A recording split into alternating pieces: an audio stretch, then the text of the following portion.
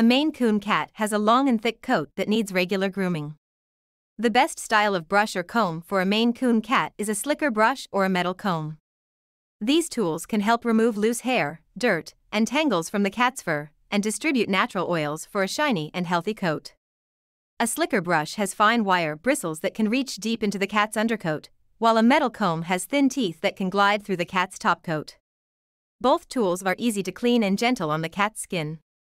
A slicker brush or a metal comb can be used daily or weekly, depending on the cat's needs and preferences. These tools can also help prevent matting, shedding, and hairballs in Maine Coon cats. Subscribe to our channel for more pet information videos.